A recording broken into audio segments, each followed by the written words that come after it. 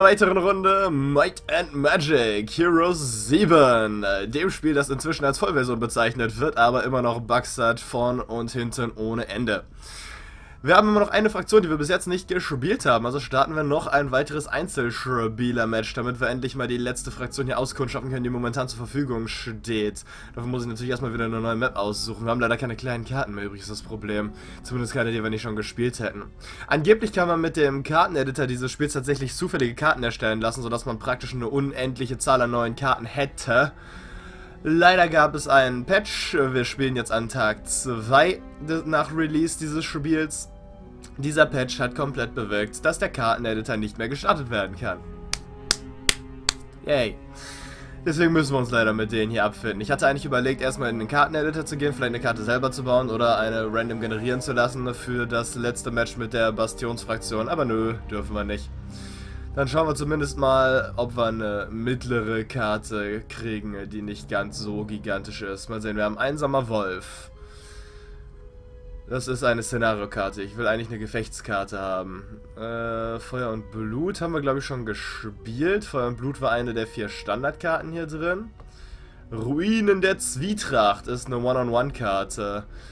Mittelgefecht, ja, dann würde ich sagen, machen wir halt einmal Ruinen der Zwietracht. Die Entdeckung alter Shantiri-Ruinen unter den nahen Bergen hat zwei benachbarte Königreiche gegeneinander aufgebracht. Da sich die unterirdische Stadt auf beiden Gebieten befindet und beide Herrscher die dort angeblich zu findenden Reichtümer für sich beanspruchen. Ich finde es ja schön, dass man sich für alles und jeden Mist die Mühe gemacht hat, extra Hintergrundgeschichte zu schreiben. Obwohl das Ganze irgendwie vorne und hinten nicht funktioniert. Hey Kevin und hallo Pell wird ja richtig voll hier. Ja, äh, wir haben nur noch einen einzigen, äh, wie gesagt, äh, Punkt, den wir nicht erkundet haben hier, nämlich die Bastionsfraktion. Wir kämpfen gegen die Nekropolis, weil bis jetzt haben wir noch nie gegen Nekropolis gespielt. Wir haben sie beim letzten Mal nur selber benutzt. Und dann können wir uns mal einen Helden suchen. Tja, in den letzten zwei Tagen habe ich mindestens viel Zeit, das hier zu spielen, weil ich mal zwei Tage tatsächlich frei habe. Jock. Hm, auch wenn man meine Stimme wahrscheinlich merkt, dass ich natürlich an meinen freien Tagen etwas erkältet bin. Zyklopenmeister. Plus 8 Angriff und 8 Abwehr für Zyklopen und erzürnte Zyklopen in der Armee des Helden. Interessant. Das klingt jetzt schon mal nicht schlecht, aber ich kann mir irgendwie nicht vorstellen, dass eine Startarmee Zyklopen dabei haben würde. Nee, das wäre auch zu schön gewesen, weil ich glaube, dass Zyklopen die Ultra-Einheiten von der Bastion sind. Dann hätten wir hier den Ork-General. Stadthalter plus 6 Vermehrung von Wüstlingen und Brechern im Einflussbereich der Stadt. Äh, Zentaurenhäuptling, mehr Zentauren. Kippweh, Adept der Steinhaut. Ich wollte schon immer einen Adepten der Steinhaut haben. Das klingt irgendwie nicht so gut. Jünger der Erde, Erdmagier halt. Bannweber plus 4 Magie generell. Gnollhäuptling plus 12 Vermehrung von Gnollen. Was eigentlich nicht schlecht ist, denke ich, ne? Huh. Wir sind immerhin die Ranged-Einheiten und wir haben, als wir gegen die Bastion gespielt haben, gesehen, aua, Gnoller hauen übel rein. Bilashi. Schmerzlos. Der hält halt plus 4 Abwehr. Hm. Barbaren halt. Barbaren. Der hält halt plus 6 Magie beim Wirken von Luftzauber. Jünger der Luft. Boah, so ein Luftmagier wäre vielleicht auch mal ganz interessant zu haben, aber da hatten wir, glaube ich, schon mal den Sturmfall-Luftmagier, den wir mal benutzt haben, als wir die Akademie gespielt haben. Da haben wir schon gemerkt, dass Luftpfeile ziemlich imbar sind, wenn man eine Ranged-Armee hat. Dann Adept der Blitze. Was haben die so viele Magier, die Barbaren? Blitzgewitter erwirkt diesen Zauber eine Stufe über der Rangstufe, okay. Und Meister der Schlachtrufe. Der Held beginnt mit dem Talent Schlachtrufe im Rang Novize und der Fähigkeit Überwältigen. Ich wollte ja immer mal diese Schlachtrufe wirklich benutzt haben, ne? Vielleicht nehmen wir den hier einfach. Was hast du denn? Erkundung, Führung, Schicksal, Vorbild, Luftmagie, Offensive, Defensive, Kriegsgerät, Schlachtrufe. Natürlich kein Öko, der Drecksack. Pff. Hm. Na gut. Dann müssen wir den halt zum Führer machen. Okay. Dann fangen wir einfach mit dem Helden an und der Gegner kriegt random. Wir können unsere Farben mal wieder ändern. Hier jetzt nehmen wir Kackbraun, weil wir Bastion sind und unser Gegner kriegt jetzt Giftgrün, was ich beim letzten Mal eigentlich schon haben wollte, weil er Nekropole spielt. Ja, Vorurteile. Ich glaube, der Rest war erstmal so okay. Ach nee, Moment, die KI. Ich darf die KI nicht so lassen. Wir haben eine One-on-One-Situation. Ich würde sagen, die schwere KI ist bis jetzt von uns immer überrollt worden. Die normale KI rennt nur im Kreis. Ich will gar nicht wissen, was die leichte KI macht. Oh mein Gott. Niemals. Wir versuchen es jetzt einfach mal mit der höchsten Schwierigkeitsstufe des Spiels und hoffen, dass die uns was tun kann. Ja, spielen bitte.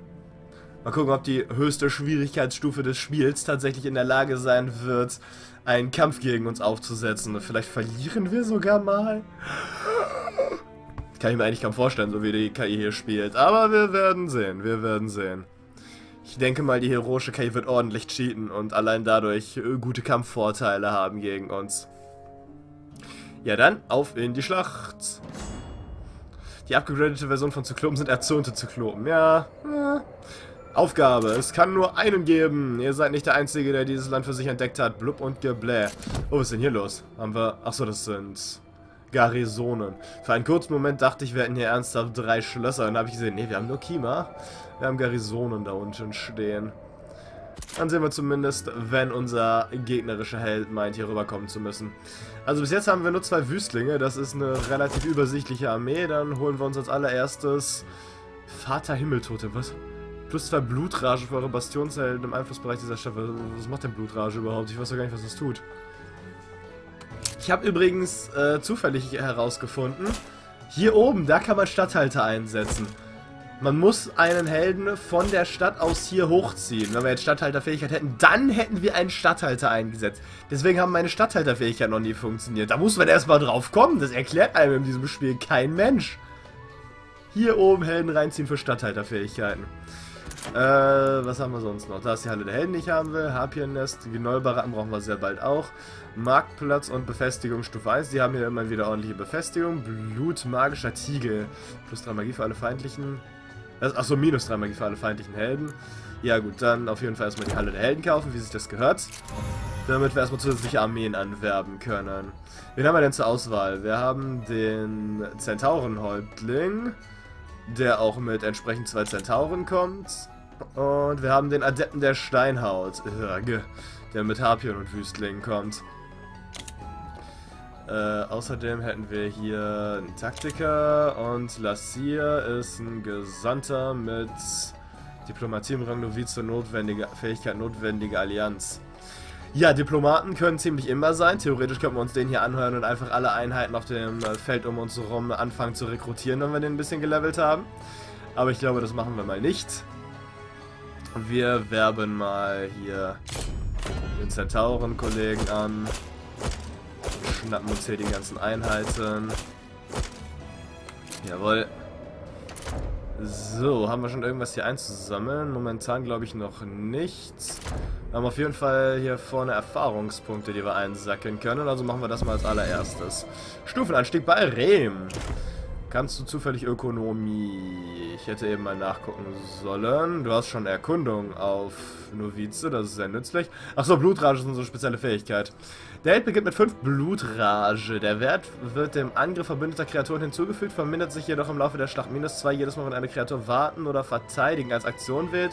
Minus 2 am Ende jeder Runde. Blutrage ist vorbei, sobald sie den Wert 0 erreicht. Keine Auswirkungen auf Untote und Konstrukte. Okay. Das ist aber nervtötend, dass das abnimmt, wenn ich mich nur verteidige. Explodierende Rage. Alle verbündeten Kreaturen fügen allen benachbarten Kreaturen Schaden zu. Wenn Blutrage vorbei ist, der Schaden beträgt das hundertfache der Anzahl von Runden, die Blutrage gedauert hat. Aua. Dem Heldenschaden wird das 20-fache der aktuellen Blutrage hinzugefügt. Verbündete Kreaturen in Blutrage erhalten plus einen Zugweite. Beinung! Ja, das kann ja gar nicht so unnütz sein. Ja, hat aber keinerlei Ökonomie. Scheinbar sind hier die Barbaren sehr schlechte Ökonomen. Wie ich gerade feststellen muss. Ich glaube, es ist, wäre schön, erstmal Grapschen zu haben.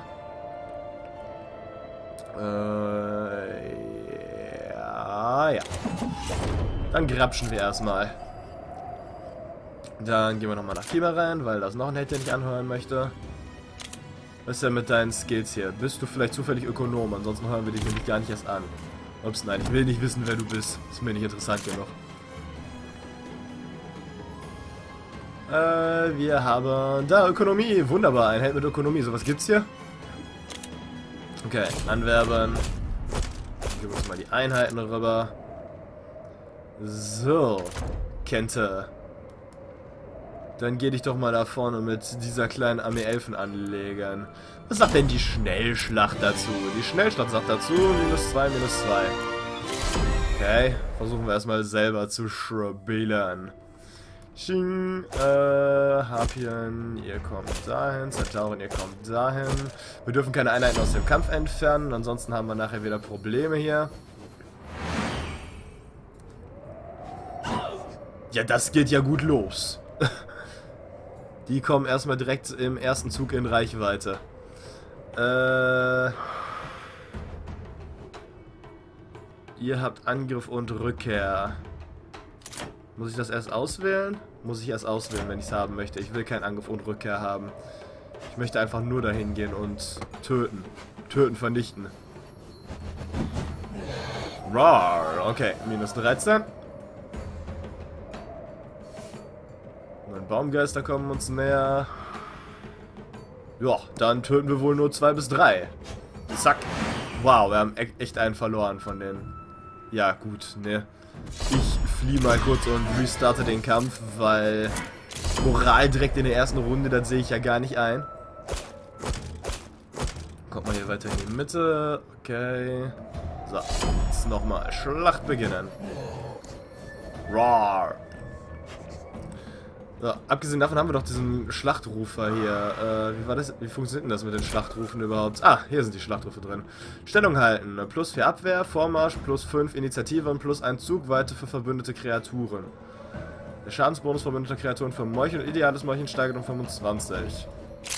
Ja dann, Vormarsch. Äh, rennen wir doch einfach mal hinter diesen Gegner. Ah, das ist ja gut. Das scheint mir sehr nützlich zu sein. Okay, äh, da können wir 0 bis 1 töten. Das muss jetzt nicht unbedingt sein. Dann... Da kommen wir in Range. Schießen wir lieber erstmal auf die Baumgeist, auch wenn wir da kaum Schaden machen. Minus 10, unglaublicher. So, und du tötest mir die neuen da vorne. Das solltest du eigentlich locker schaffen können. Blutrage! Ach, wir haben hohe Moral gekriegt. Okay, bringt mir leider gerade herzlich wenig. Gehen wir mal ein bisschen näher ran hier vorne. Die Baumgeister wollen sich umbringen. Finde ich gut. So, und dann... Äh, ja, ne? Töten wir einfach die fünf da. Rar. Jetzt, wo wir in Runde 2 sind, kann ich eigentlich... Ah. Was macht ihr denn da? Und wie war deine Prüfung, Dryad? Manövrieren. Wenn die Kreatur nach einem Nahkampf äh, Gegenwehr leisten kann, entfernt sie sich zuerst vom Angreifer und wehrt sich dann mit ihrem Fernangriff. Okay. Was in Blutrage? Ja. Interessant. Ja, wir sind dran. Wir können wieder Vormarsch wirken. Und dann greifen wir von hinten an. Bams! Und hallo neuer Nutzer. Rock! Ey, Kampf gewonnen. So, ohne Verluste. Viel besser. So, was haben wir da unten stehen? Gnolle. Ugh. Warum denn Ranged-Einheiten? Fallstrahl, Zeitkontrolle, man lässt es Verseuchung. Das lohnt sich noch nicht mal so richtig. Für Verluste dahin zu gehen.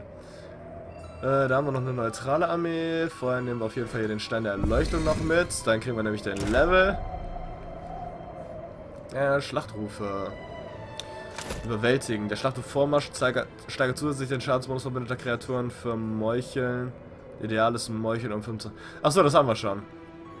Achtsamkeit und Opportunismus. Immer wenn der Held einen Schlachtruf einsetzt, erhält die nächste verbündete Kreatur äh, an der Reihe bis zum Ende der Runde 25 Glück. Wird eine andere verbündete Kreatur durch eine Veränderung in der Initiative früh aktiv, hat die Fähigkeit keine Auswirkungen auf sie. Ah ja. Schlachtruf-Experte. Der Held kann zum kann die Schlachtrufe zum Angriff und Feuer öffnen einsetzen. Äh, okay. Angriff von Nahkämpfern und Feindkreaturen noch mehr. Keine Gegenwehr leisten können. Hey, nee, wir haben jetzt schon den ersten Schlachtruf. Ich glaube, ich werde jetzt erstmal Führungs... Ja, Moment, das ist...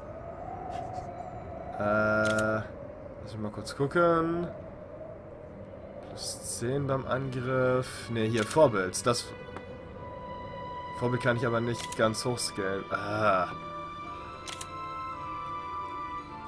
Das ist ja ärgerlich. Aber der Held gewinnt 5% mehr Erfahrung, ist grundsätzlich direkt am Anfang zu einem eigentlich keine schlechte Sache, ne?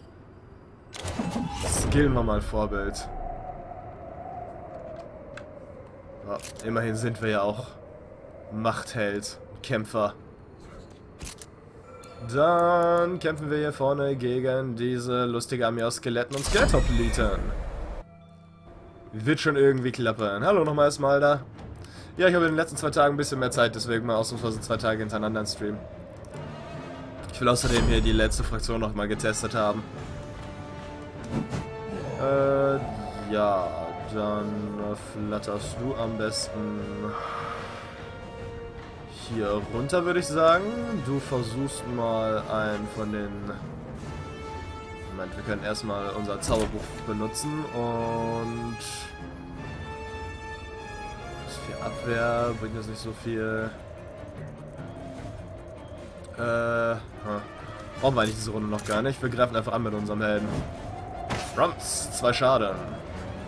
Und Snipern. Sehr gut. Okay, und dann gehst du auch mal in Reichweite hier vorne. Ja, ich spiele Ingress Dryad. Kommt in Reichweite. Hm. So, wollen wir Vormarsch haben oder... Das Abwehr verbündete Kreaturen, ziehende Kreaturen verlieren, Stellung halten. Ja, das bringt ja dann nicht, ne?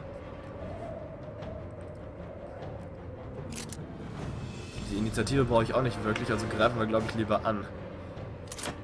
Dann töten wir mal zwei von den Skeletthopliten, bitte. Jawohl. Du kannst hier die 10 töten mit Angriff und Rückkehr, bitte. Nom! Okay, na, Angriff und Rückkehr stellt mich aber auch doof hin. Sehe ich gerade. Äh, dann tötest du... Das ist, das ist jetzt doof, wir kriegen gleich einen Schlag ab. Hier bitte mal 1 bis 2. Äh, okay. Okay. Das war jetzt alles ein bisschen... Naja. Passt schon. Die zwei sollten uns keinen Zentauren töten können. Bams. Boom. Ja. Und die Zehner werden jetzt irgendwas reduzieren. Den Harpien-Stack. Ach, zwei meiner Harpien sind tot. Naja, okay. Macht mal nix. Bams, minus eins. Und... Ah, 20 Erfahrungspunkte fehlen. Ärgerlich. Na gut, aber Level Up. Das heißt, wir können unsere Macht und unsere Abwehr nochmal um plus 2 verbessern. Unseres lieben Machthelden hier. Wen haben wir da vorne? Triviale Armee mit ein paar Schleichern drin. Auf jeden Fall eine Erzgrube hinter, also einnehmen wollen wir es auf jeden Fall. Vorher können wir mal die Sammelflagge da vorne ansteuern. Sowas kann ja nicht schaden. So, hier vorne die Drachenstahl und Kristalle. Jawohl. Dann kommst du auch mal hier vorne ein paar zusätzliche Schritte zu bekommen. Du kannst, glaube ich, schon grapschen, wenn mich nicht alles täuscht. Dann gehst du auch mal zur Sammelflagge runter. Mysteriöse Krypta. Minus 20 Führungskraft für, die, äh, Führungskraft für die nächste Schlacht. Immer unpraktisch sowas. Äh, Schätze. Äh, ja. Stadt haben wir gebaut. Dann bin ich erstmal glücklich, würde ich sagen. Runde von Schabela 2. Woche der tödlichen Ruhe. Eine Woche, in der eigentlich gar nichts passiert. Okay, scheinbar hat der Patch unter anderem bewirkt, dass die Wochen erst am zweiten Tag angezeigt werden. Also nachdem man den ersten hat vergehen lassen. Interessant. Dann gibt es jetzt also tatsächlich einen Tag 0 in dem Spiel. Äh, jetzt, wo die ganzen Helden hier vorne noch stehen, sollten wir, glaube ich, die Gelegenheit nutzen. Auch wenn ich damit jetzt gerade ein paar äh, Schritte verschwende. Sollen wir eben die Gnollbaracken hier mitnehmen. Neue Kreaturen. 24 Gnolle, her damit. So. Dann schnappst du dir vorne auch den Stufenanstieg. Du bist unser Ökonom, also lern das bitte. Dann gibst du nämlich die Gnolle jetzt mal rüber, dann haben wir auch 24 Gnolle in der Armee. So, Sammelflagge besuchen. Und dann kämpfen wir gegen diese triviale Armee da vorne. Was sagt denn die Schnellschlacht dazu? Die Schnellschlacht sagt dazu... Oh, oh, oh, oh, oh, oh. Die Schnellschlacht sagt, wir haben mal keine Verluste. Was ist denn hier passiert? Okay. Ich glaube, das Spiel ist gerade ausgebackt. Die Schnellschlacht hat vergessen, Einheiten zu verlieren. Dort haben wir eine geringe Armee. Äh, Kabire, Meister Kabire. Äh, von einer mysteriösen Krypta. Weiß ich nicht. Das ist eine Stallung, die will ich auf jeden Fall haben. Du, nee, nicht du. Du gehst hier vorne mal schnell die Erzmine einnehmen und das Erz in der nächsten Runde einsammeln. Geringe Gefahr. Aha. Haben wir ein paar Troglodyten, die sind eher neutral. Sieht alles so schön dekoriert hier aus, als ob das eine Untotenstadt wäre. Aber ich glaube, wir sind einfach nur ein Untotengebiet. Hm, hm, hm, hm. Wie viele Kabire sind das hier? Das ist schon deutlich angenehmer, was das an Kabieren sind. Wir lassen die erstmal noch stehen, bis wir noch ein bisschen mehr Einheiten haben. Plus 4 Erz. Hier müssen wir auf jeden Fall rein. Da ist das Sägewerk, da ist ein Rüstungsschmied. Ah, das Sägewerk müssen wir auf jeden Fall rein. Giftfiole. Minus 4 Lebenskraft für Feindkreaturen. Natürlich von einer tödlichen Armee Gnolle bewacht, an der wir nicht so leicht vorbeikommen. Vorne sind noch ein paar mehr Erfahrungspunkte. Gebaut haben wir jetzt auch. Also Ende der Runde. Shabela 2. Der liebe Heroische auf der anderen Seite des Spielfeldes. Wir dürfen gespannt sein. So, plus 650 Gold.